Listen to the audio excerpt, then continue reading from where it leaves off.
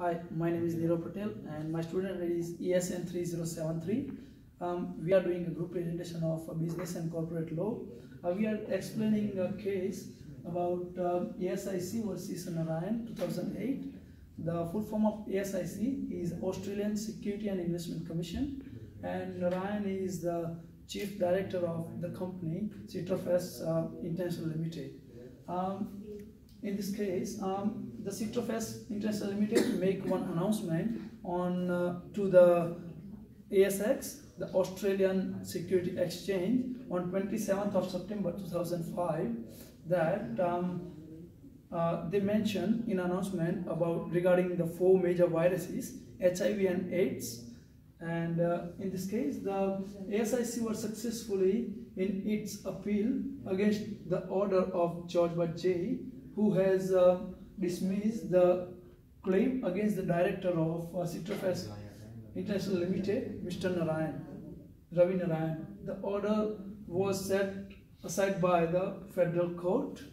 Um, after then, it was held by the full federal court that the judge had made an error in arriving at the conclusion. Like the judge made the wrong decision uh, that the announcement made to the Australian Security Exchange was not related with the financial product due to the reason that the content of the statement did not refer to or, or deal with a share of the company. Like when the company make announcement, at the time the company share is going at high level. Like the before the company share is like 22.5 cent, and after this announcement, it goes to 0.70 cent.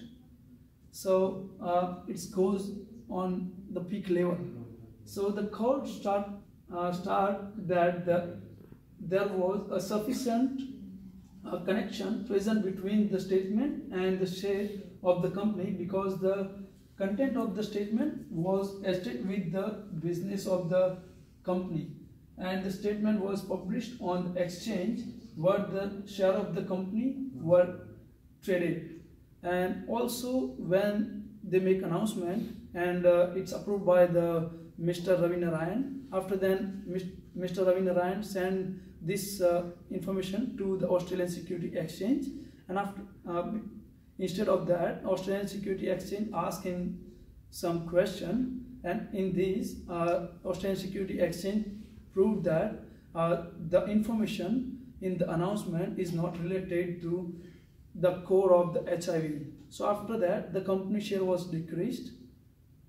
Decreased. Uh, thanks for that. And the rest part of uh, is explaining, explaining with my colleague. Thank you. Thank you, Nirav. Uh, so, my name is Davy Ghai and my student ID is PFEC3479. So, I will explain the rest of the part in this part, I will explain firstly the section 1041H. According to this section, no one has any right to pass the financial statements to the public which is misleading the public. In this case, as my friend has already mentioned, Citrofresh company has made a false announcement uh, according uh, in relation to the food products which, uh, which are related to the four viruses including the HIV and the AIDS. Due to this, this false Due to this false announcement, the company's shares boost up in the night at a high level. It rise from 0.25 to 0.75.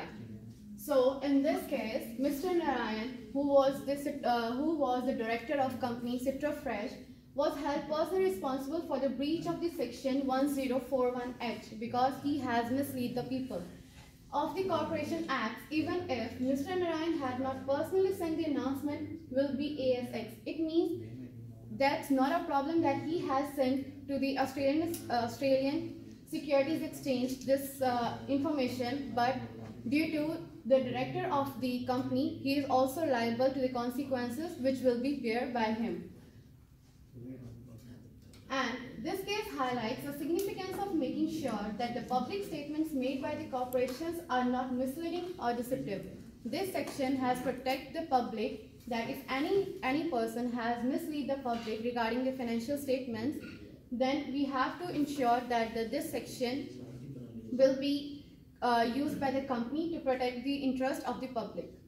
Similarly, this case also provides guidance regarding a situation where the officers of the company can be held personally responsible, which means this section provides, a, provides public in surety that the uh, company, not itself, but the employers and the officers of the company are also responsible for the consequences bear by the public. So they are also reliable for the any consequences or any losses held by the public due to this announcement. For the misleading statements that have been made by the company. So the officers and the employers are also liable to bear the losses.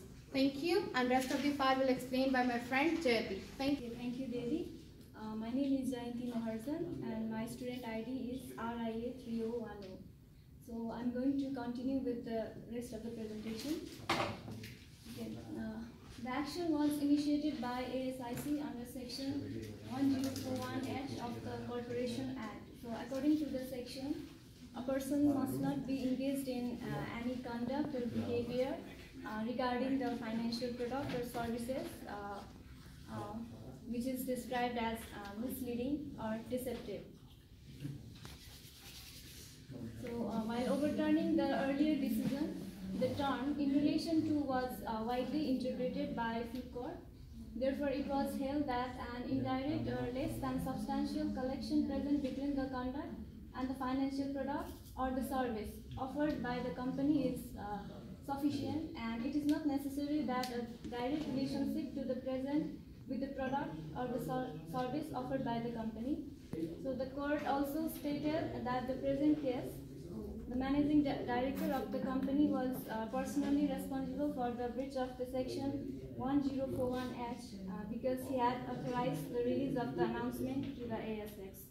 Um, so the rest of the part will be explained by uh, Sohil. Thank you. I'm Sohil Barot, now I will I gonna explain this uh, other parts, and uh, I will explain the conclusion part. Uh, what the conclusion illustrates. The clear protocol should be uh, present in case of listed companies in order to make sure that the statement was released to the ASX are complete uh, and accurate because liability may arise under uh, S1041H regarding a statement. I, I, I would like to know you that the S uh, represents the section part of 1041 uh, statement. If there is no direct reference in the statement of the securities of the company, at the same time, the principal should also consider the regarding of the public announcement made by the corporation. Uh, in including the statements made on the website of the company that can be considered as having any relations with security of the company. Now, any person can be held personally responsible under section 1041H if such person is the authorized person who having the knowledge of the contents of the statement. Prepared instructor authorized release of the misleading or deceptive statements. So uh, this, uh, the authorized person have to uh, give the clearance of the, uh, the statements. On the basis of the decision provided in this case, it can be stated that section 1041 will continue to have a wide application. So there are a number of the applications uh, considered by the uh, 1041 section. Uh, the reason is that among their other things, the word in relation to have been interpreted widely. So that the word uh, uh, interpret the wide meanings of the application. So as the cover a wide range of conduct associated with sets and the provision can be used again not only the company but also the directors and officers of the corporation in their personal capacity. So the section should be uh, uh, illustrated by the authorized person. This is the reference we used uh, to explain the case.